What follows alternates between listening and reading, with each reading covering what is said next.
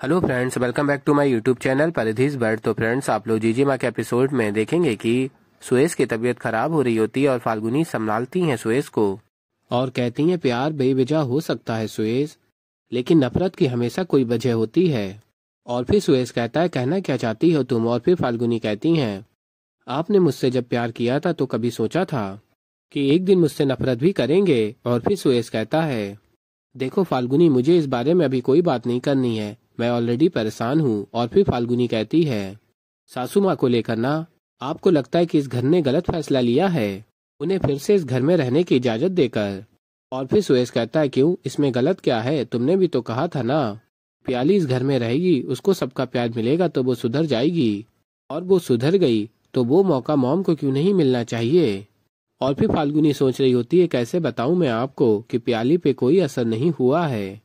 वो बिल्कुल नहीं बदली है। और फिर सुयस कहता है, कम से कम मैं उम्मीद तो कर सकता हूँ ना कि मुझे सुयस रावत को उसकी मोम का प्यार मिलेगा। उसी माँ ने जिसने मेरी जान लेने की कोशिश की थी, उसने मुझे आज एक नई ज़िंदगी दी। पता है क्या प्यार हर जंग जीत लेता है, और तो और प्यार सब कुछ बदल देता है। और फिर फाल्गुनी कहती है, सही कहा आपने, प्यार हर जंग जीत लेता है, और प्यार से सब कुछ बदला जा सकता है।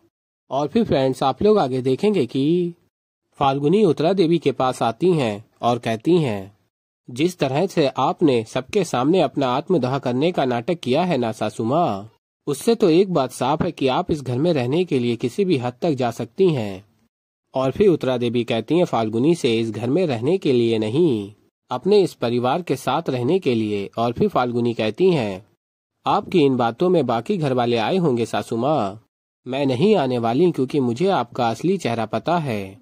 की आदत बदल सकती है, लेकिन फितरत नहीं, और फिर उत्तरा देवी कहती हैं, देख रही हूँ कि समय के साथ साथ समझदार हो गई हो। अब तुम वो फाल्गुनी नहीं रही, जो अपने सास के कहने पे अपनी कोक तक निकालने के लिए तैयार हो गई थी। लेकिन क्या है ना, समय के साथ साथ थोड़ी सी मैं भी बदल गई हूँ। तुमने देखा नहीं पूरे परिवार ने मुझे किस तरह से अपना लिया है?